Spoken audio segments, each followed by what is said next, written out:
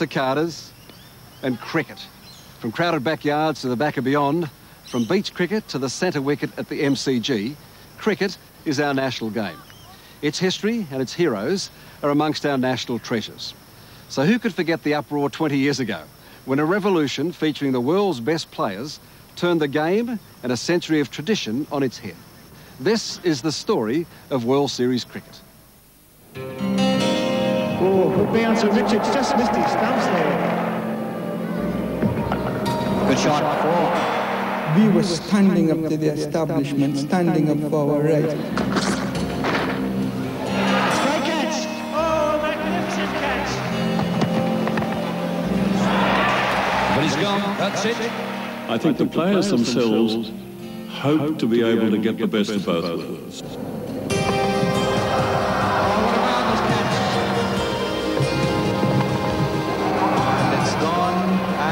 Over the top at six. They wouldn't tell me who would sign, who wouldn't sign. That's a good shot. It was in the air. It was a good time.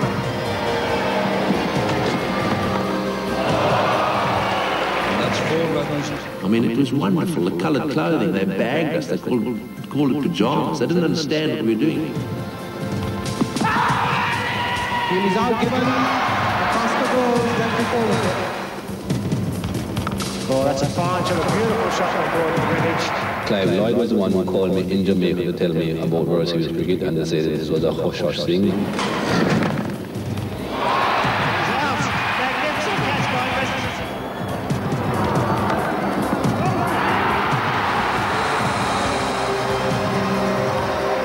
you realised that when you went out there, uh, there wasn't no garden party.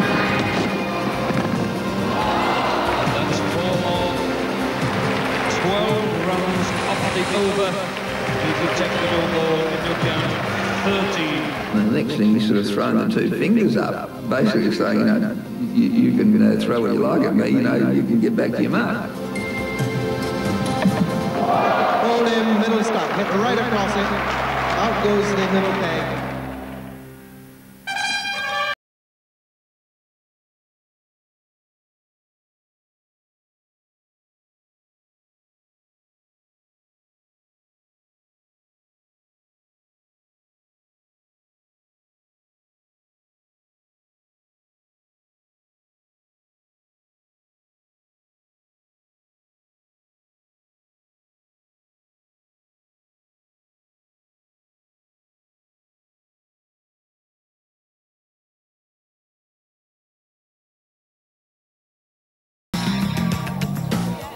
Few weeks ago, some of the legends from two decades past gathered in Sydney for a very special reunion. Photo opportunity, eh? No worries. They came to have a drink and celebrate the 20th anniversary of that most remarkable period in the history of the game. In the presence of this man of wonders, When these players were primed, Australian cricket was supercharged. During the 1970s, delirious fans couldn't get enough of Lillee, Thommo and Marshy and the rest. Cricketers had long played for a lot of glory and not much gold. As other sports went professional, cricket was long overdue for a change too. And leading the charge for a fairer shake for the players, a bunch of larrikins, John Cornell, Paul Hogan and Dennis Lillee. He's um, Sir Reginald Dunstan Brown, mate. He's the patron for the Royal Society for the Preservation of Wildlife. Ah, well, he'll love this. A genuine stuffed owl. Ah, beautiful, mate. It's a wonderful thing preserving wildlife, isn't it, mate? I think they just couldn't believe that the top elite sportsmen of, the, of a country were, were earning that small amount of money and actually struggling too in life. Don't forget, I'm the family retainer and your personal valet. Okay? Come in. Oh, it looks beautiful, mate. It's good a purse to lend it to you. Uh, I'll get the door, sir. Cornell, I think, got back to me about uh, three months or something time, or maybe even been a bit uh, less than that. And I, I think that was when he said, Have you heard of uh, Kerry Packer? And that's when I said, No, I haven't. And he then explained that Kerry was very interested in the idea. Where's the backing? You know, how, how are we going to get paid? And And I think that's basically where Kerry Packer became involved. And so World Series cricket was born. After the break, one of the key players behind the scenes, former Australian Test captain Richie Benaud, takes up the story. That's gone in the air. Someone is under it, and it's going to be caught. Magnificently caught. What a great catch by Rodney Marsh. That is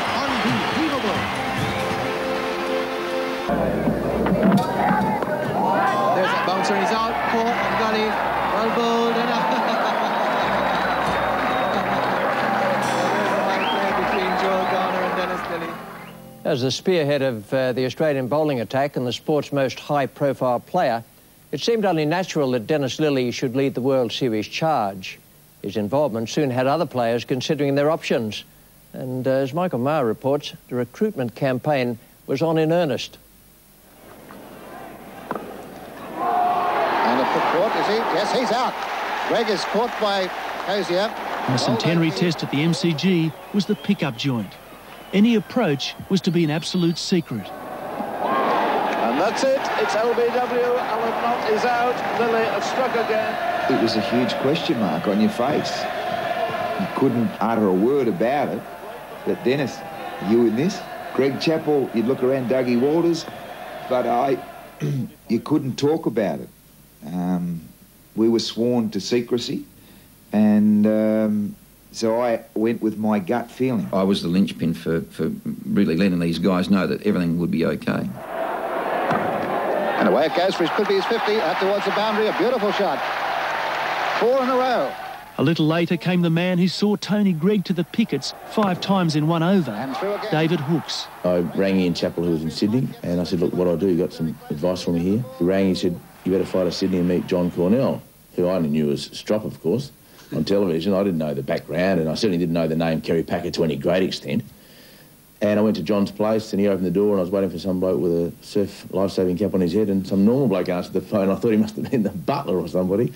And John just took me for a stroll overlooking the bridge and the harbour and the soft cell and then the hard cell, and just put the idea to me then, and I signed on the spot. I didn't feel betrayed. I was shocked, and I think the board was to some extent hurt because it believed that it was doing the best it could for the players. My initial reaction was, well, that's, you know, that's interesting. Um, then I did it for myself. After that was easy. Um, it was a good deal for me. Then came an overseas contingent led by those who'd been paid a pittance, the West Indies. They would light up the series. The wicketkeeper was approached by his captain between overs in a test match. We'd had a, a very good relationship, Clive and myself, and he knew he could trust me. Yes, it was confidential, and um, so he was just, and I suppose in a way asking, um, you know, for confirmation that he was doing the right thing. They had approached four of us at that time, four West Indians, that is, Clive Lloyd, Andy Roberts, Viv Richards, and myself. And Clive told me that he had signed, and so I said to myself, well, if Clive had signed, I have to sign as well, because those days we all looked upon Clive as a father figure. It's great for us because, I mean, obviously we weren't playing at that level. You know, we weren't able to play with the West Indian players. We weren't able to play Test cricket against England or Australia or anybody else for that matter. So, um, you know, any opportunity to play with 60 of the, the best cricketers in the world for us was, was going to be a, a fantastic opportunity. Off to England for the Ashes tour, the Australians took their secrets with them. The team settled for a draw against Kent, and a week later, on May the 9th, World Series cricket was exposed to all in the media. An advertisement in the Times summed up the mood. In affectionate remembrance of international cricket, which died at Hove, 9th of May 1977, deeply lamented by a large circle of friends and acquaintances. RIP. NB, the body will be cremated and the ashes taken to Australia and scattered around the studio of TCN 9 Sydney. While uh, some Australians were wondering what Kerry Packer and company were doing to their game, in England, the traditionalists were outraged. What distresses me is the fact that uh, we have a situation here where an Australian um, um, who professes to, to have the best interests of of, of uh, certain cricketers and, and, the game in general uh, uh, at heart, has in fact done damaging things to our cricket.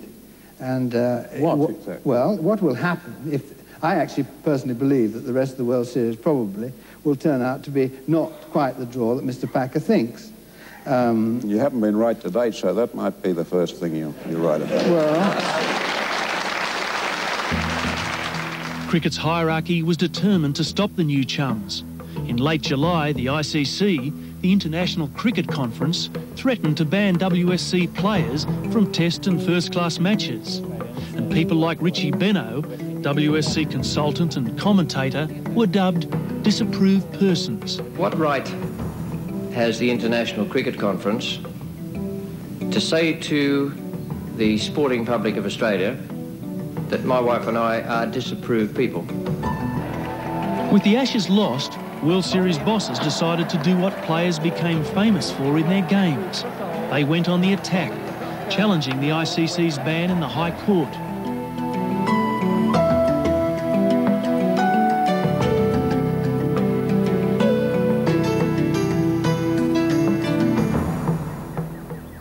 The lawyers and critics had had their say, but ultimately, the public would be the judge.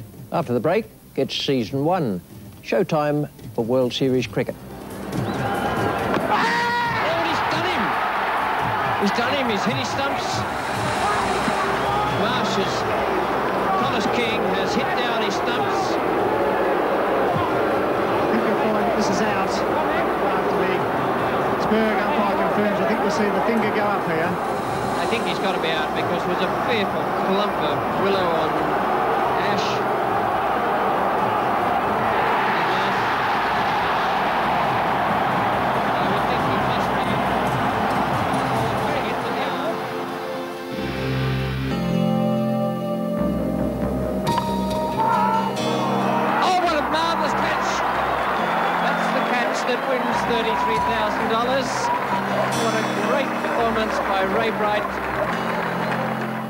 What was going to happen to us? That was the question on every player's mind as he went to sleep in the latter part of that tour. I mean, is it going to be all right? I mean, are we? Is this going to really work out? I mean, we have got ourselves in the in the shit here, haven't we? I mean, let's be ro- really honest. Indeed, the uh, WSC recruits were in a predicament.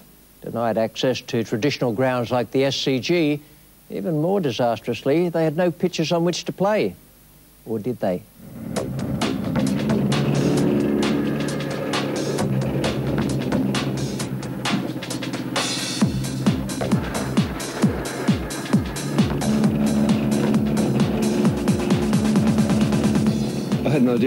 Brisbane that it'd be nice to lay wickets in huge slabs. It had never been done before. I didn't know how to do it. And when World Series started, I thought, yeah, that's the way, you know, because I was racking my brain.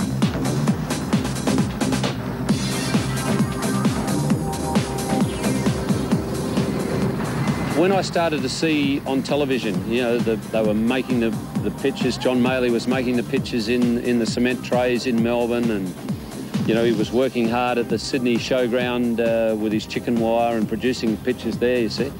That's about the time I started to think to myself, this might actually get off the ground.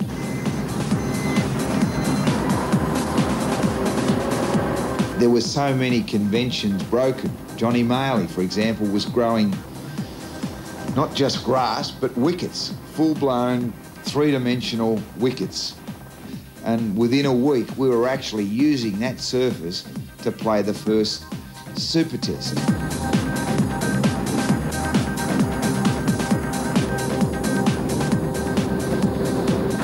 How could you refuse to prepare pitches for the best players in the world for a competition like that?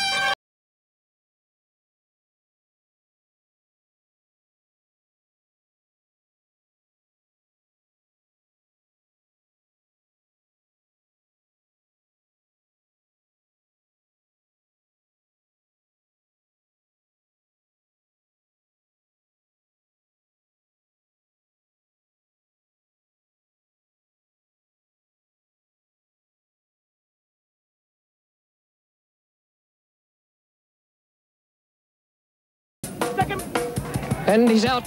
McCosker is gone. Vivian Richards has caught him at third slip. The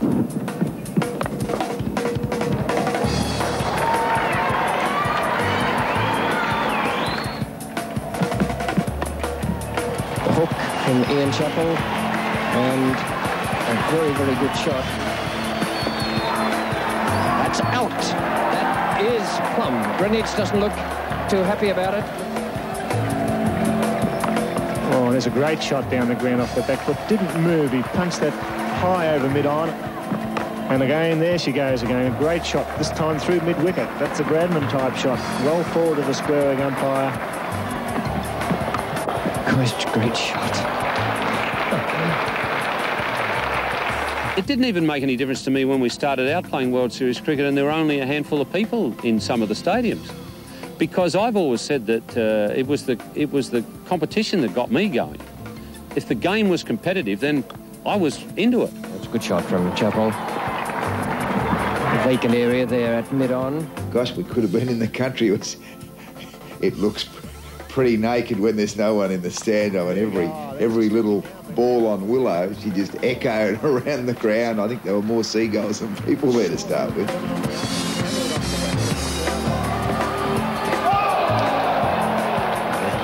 Evaded in the end. Well bowled, and it's out. A very, very good piece of bowling that from Max Walker. For the record, uh, only 13,000 spectators turned up at uh, VFL Park to see the West Indies win that Super Test in a low-scoring game.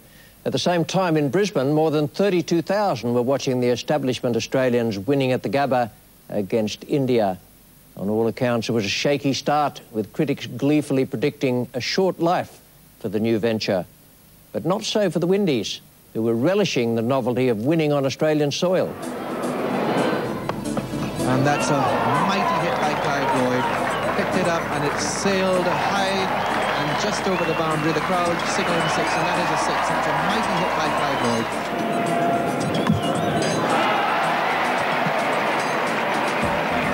He'll come for the second. The return is on the way. He'll have to hurry.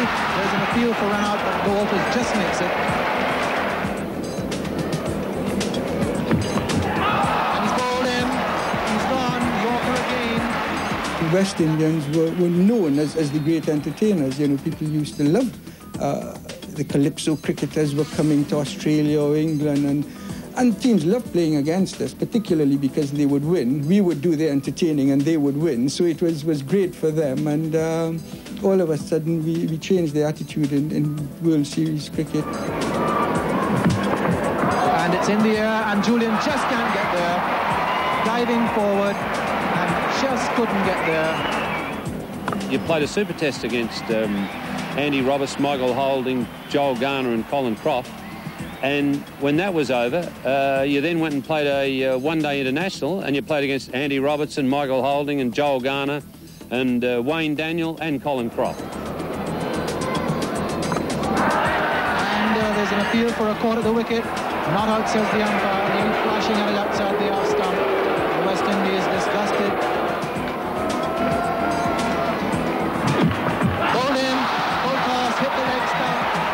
Daniel with his fourth wicket. Superb performance by this young West Indian. West Indies had never won a series in Australia before, official, unofficial, whatever. So yeah, there, there was great pride in us winning. In the air, out. It's all over. The West Indies have won. The West Indies have won an amazing cricket match by 25 runs. West Indies are 124. Australia all out for 99. As the show moved on to Sydney for the second Super Test, the West Indies had the Australians looking for some answers. Standing up to the pace bowling tornado would call for some real courage at the crease. A great shot. Won't quite go for four. Collis King will pull it up just inside the boundary. And this is another one that's another four for Hookes. They won't catch this one. Into the boundary. Five fours and a two off the over. 22 in all. And the crowd is delirious. But the risk of injury was never far away. Andy Roberts here, the most experienced of the West Indian fast bowlers. And a great fast bowler in his own right. Coming on to see if he can put the break on.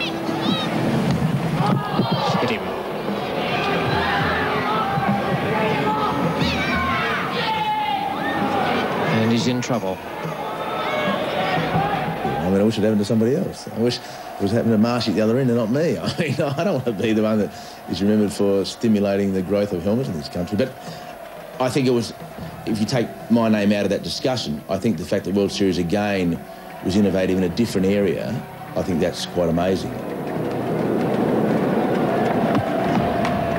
And he's got him on the helmet, I think. Could be the first strike in Lillee.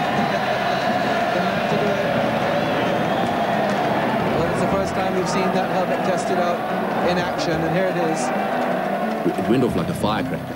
And my reaction was sort of stunned for a second.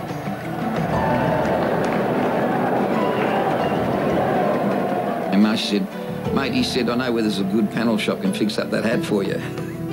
We were now professional cricketers, and by getting whacked in the head, uh, it might cost you six weeks. Uh, if you were out for six weeks, then uh, you know your employer wasn't a pleased person. And Rod Marsh just about to throw it up. Oh, it's hit him. Hit him somewhere around about the shoulder or neck. Oh! No comment needed. And he just sort of nodded his head like that, and I thought, gee, you know, that's incredible. And the next thing, he's sort of thrown the two fingers up, basically saying, you know, you, you can uh, throw what you like at me, you know, you can get back to your mark.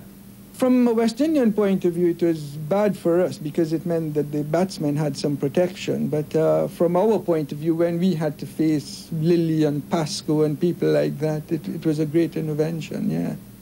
Like most innovations, helmets did generate some teething problems, not uh, least of which was hearing the call when running between the wickets.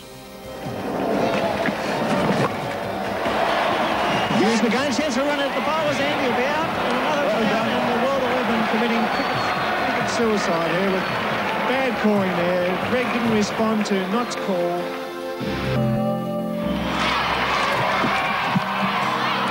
And he's draw. He's gone.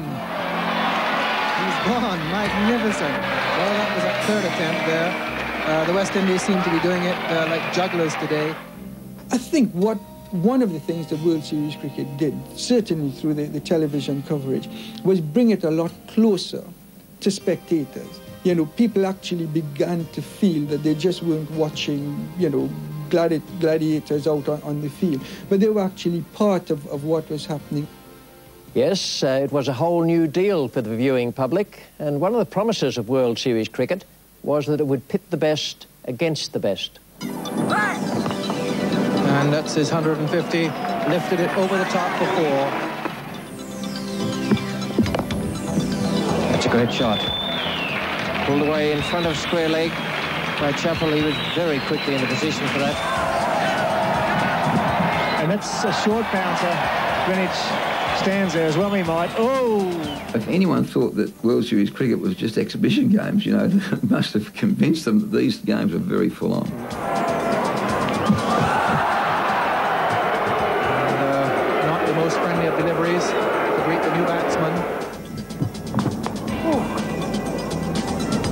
Oh. Hit on the left arm there.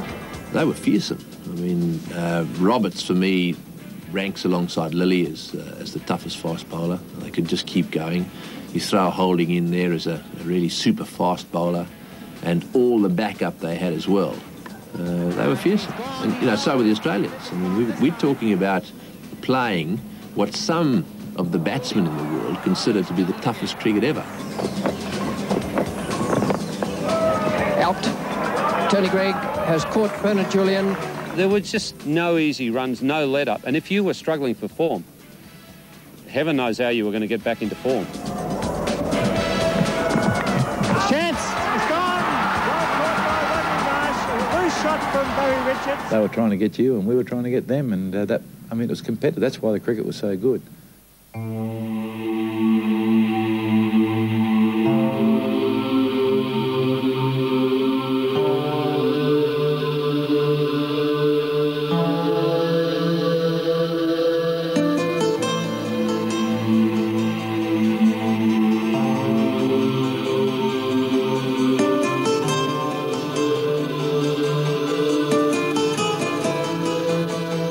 Big change was night cricket. That, wa- that was the thing that really turned it for World Series cricket. And it's Len Pascoe to bowl the first ball to Barry Richards. And the first ball under lights the history of Australian cricket is a no ball. The first night game at uh, VFL Park at Waverley, um, there was quite a good crowd turned up uh, at the start of play. That's out. Yes. Ian Chappell, a fine catch. Dennis Amiss playing away from his body. Came back out to play the second session. Suddenly, the, the ground was, you know, there was 38, 39,000 people there.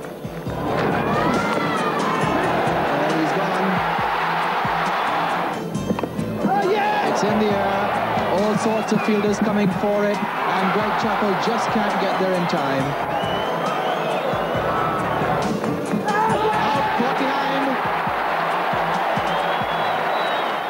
And to me, I think that was the, the day come night that we all felt, hello, this thing has turned around. Turning on the lights wasn't the only switch for day-night cricket. For players and spectators to follow the action after dark, the ball would need a change of colour. Lofted, and it's missed in the lights, but taken eventually by the fielder at mid-on, Mick Malone. He lost it in the lights. You could see that he didn't pick it up, was looking all over the place for it. Gee, I remember the night we went out to VFL Park. You talk about research. We had a cardboard box, not much bigger than around about less than a metre square. Every colour cricket ball imaginable to mankind. We got iridescent green, yellow, orange, red, pale pink, blue, white, red. And I don't know, I just couldn't imagine Joel Garner or um, Michael Holding or Andy Roberts out of a black side screen with any colour ball in the hand that was going to be a success. Ultimately, after exhaustive tests, white was the colour. By match two, played the following night, both players and fans were beginning to appreciate the dramatic atmosphere of cricket under lights. Australia playing a lot better in the past week or so. Beautifully fielded, magnificent. Ian Davis, the fielder. Thou shalt not pass.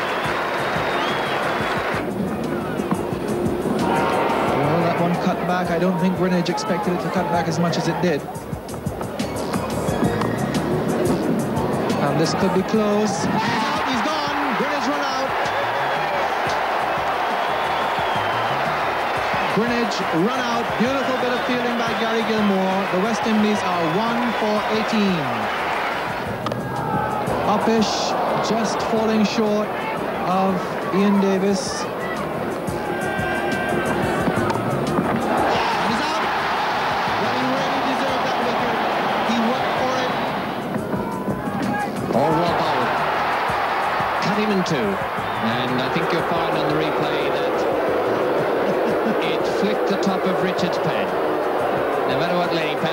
Saying. And,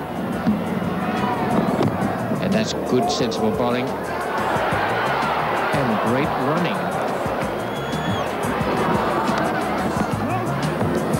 And he's gone. Must be gone. You can hear the snick from here, even through the commentary box window. And Vivian Richards has gone. Max Walker has done the trick. Just uh, short of Max Walker and still the inevitable single to Jim Allen.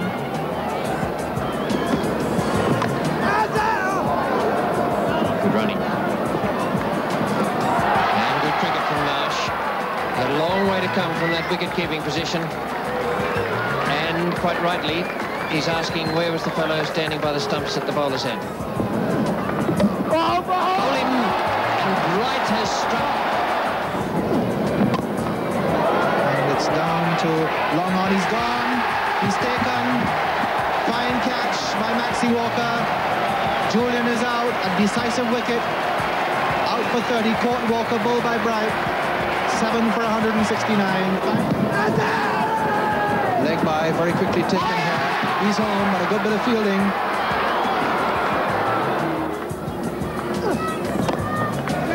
And he's caught him. Andy Roberts has gone. Ray Bright again, and what a good day he's had, and an even better night.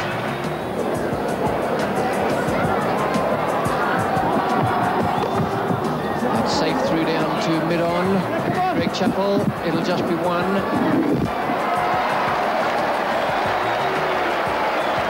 Two balls remaining, five needed. Wayne Daniel has strike. Well, Wayne isn't, uh, and he'll admit to this, the, the best batsman in the world. So getting himself into a position where he had to hit a six off the last ball, uh, you know, it's like winning the lottery. Well, they've had their conference. They will have decided that, or that Wayne Daniel goes for the doctor with this second last delivery. Malone. He's hit it many a mile. He's hit it for six. It's over. A magnificent hit from Wayne Daniel.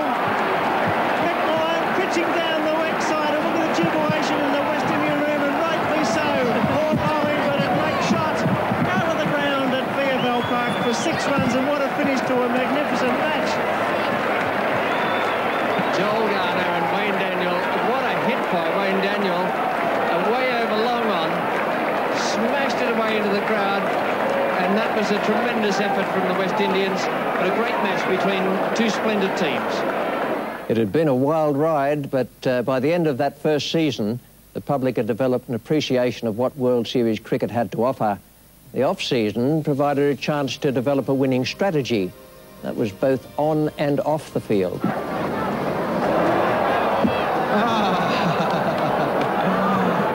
uh, ball hit into the ground, and there the two keepers together having a good laugh about it. Here it is again. Unusual happening this into the ground. Up it goes. And back comes Murray and just knocks it away.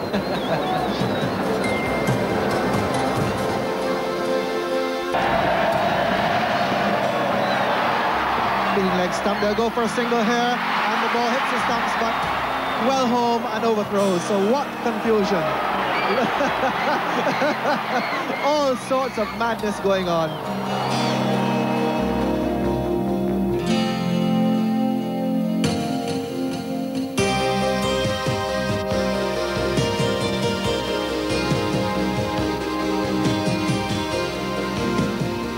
Players and the product were in place. Now it was simply a matter of public acceptance. I mean, gosh, to be under huge six light pylons, floodlit, coloured gear, uh, the chant, come on, Aussie, come on, come on. I mean, that was electric stuff.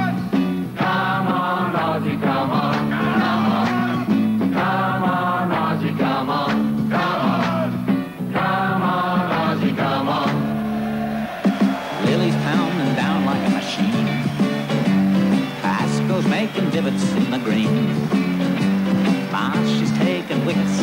Hookes he's clearing pickets. And the Chappell's eyes have got that killer gleam. Mr. Walker's playing havoc with the bat. Red Park, it's good to see you back. Ladies making runs. Duckies chewing gum. And Gilmour's wielding willow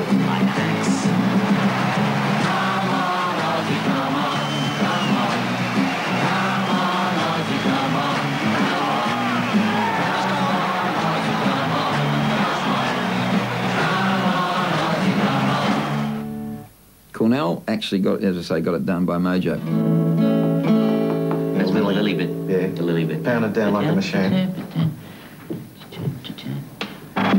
Lillee's pounding down like a machine. Pascoe's making... I can't see the words here, pal.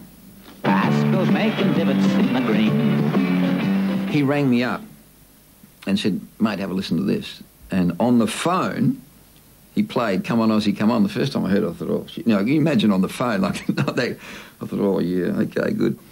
And I said, could you play it again? And he played it again, and I played it, heard it three or four times, and then you could, it's just so catchy. And um, then he sent me a tape over, and I played it on stereo. It's fantastic. Uh, with uh, a few minor hiccups, the players were more than ready to embrace the changes, but would the fans be willing to follow? In season two, with World Series at last fairly permitted access to one of the game's traditional arenas, the ingredients finally came together on one magical evening in Sydney, November 28, 1978. And what a sight it is here at the Sydney Cricket Ground. Play some uh, six or seven minutes away from uh, restarting the second session.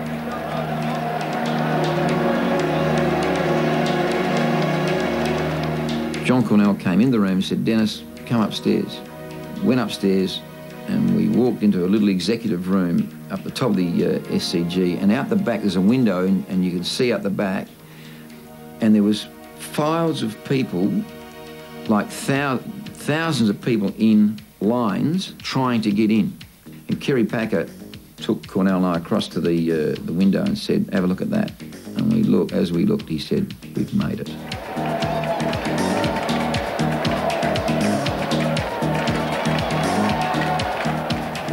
And I remember when we walked on, there was a huge crowd there, and they'd been singing "Come On, Aussie, Come On," and there was a fantastic atmosphere. And as we walked through the gate onto the Sydney Cricket Ground, I remember Rodney Marsh saying, "We're back."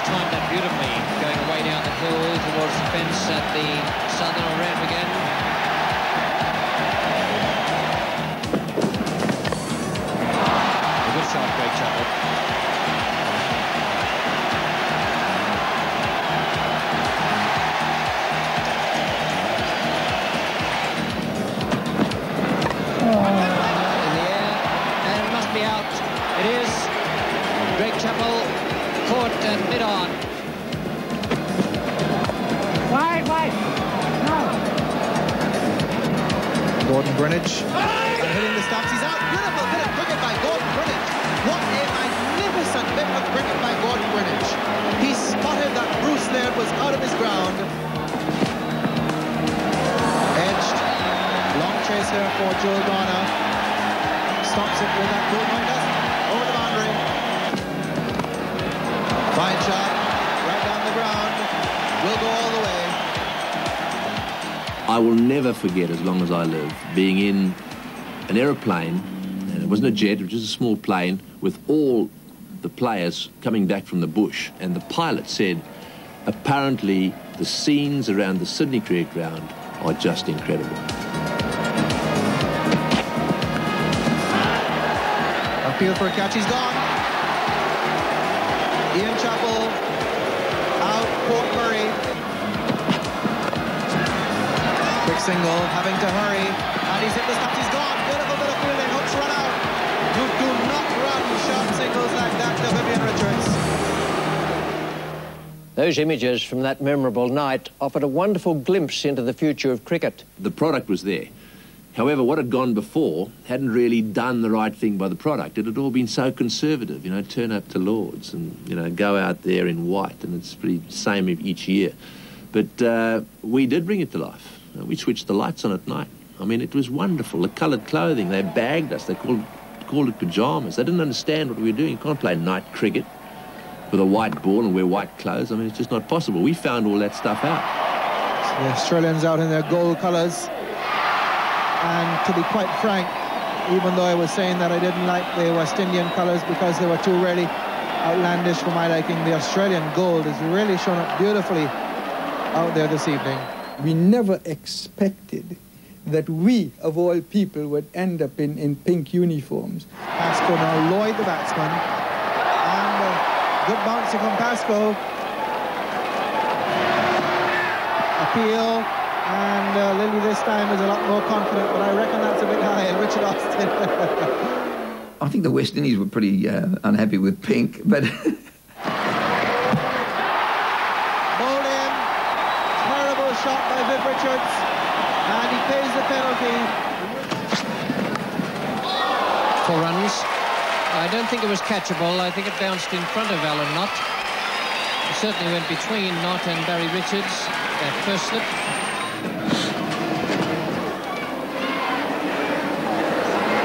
And that's uh, also a little bit uh, funny, although I don't know if David Hookes thinks so. I think that the World 11's pale blue looked absolutely wonderful. Lights, white balls, coloured clothing, capacity crowd. The world's best players engaged in an exciting limited overs format. Meanwhile, at home, a vast audience was enjoying the game as they'd never seen it before. It came courtesy of a TV coverage and a range of ingenious ideas developed here in Australia and eventually adopted by sports telecasters around the world. The revolution had made its mark. Next, reconciliation. Warren, and he's got him. What a breakthrough for the Australians. And Vivian Richards has been given out. Marsh must have clung onto the ball.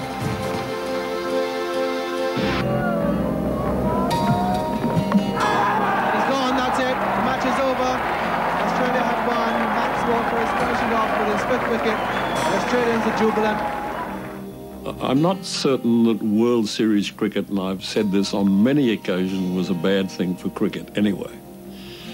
I think that it brought the Australian Cricket Board ahead in two years or three years what may have taken it 30 years uh, and may never have happened.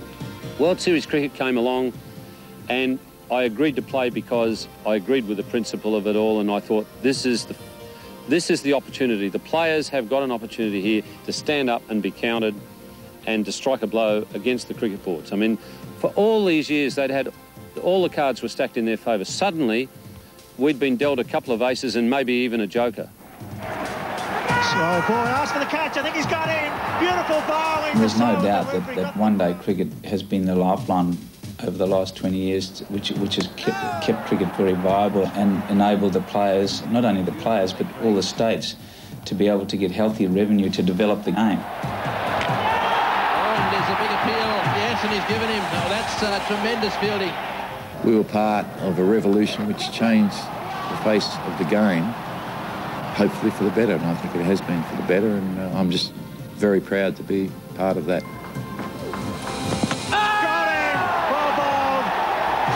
Test wickets for Shane Warne. That was a beautiful delivery to get it. This country, Australia, is the most cosmopolitan country in the world.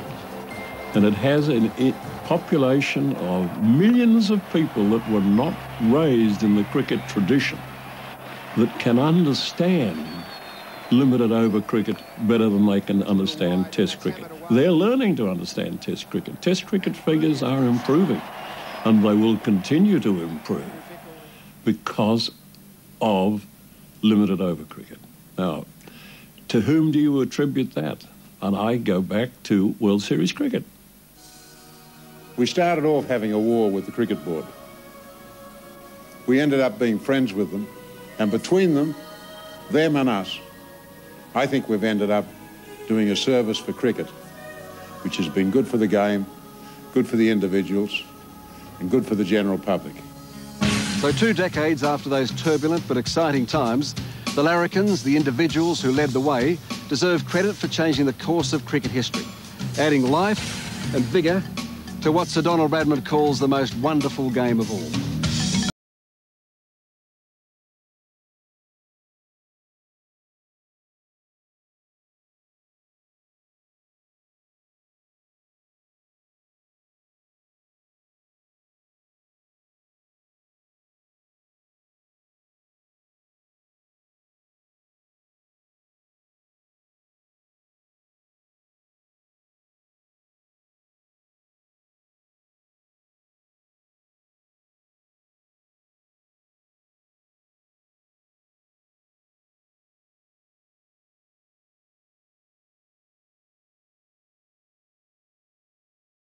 A presentation of Nines Wine.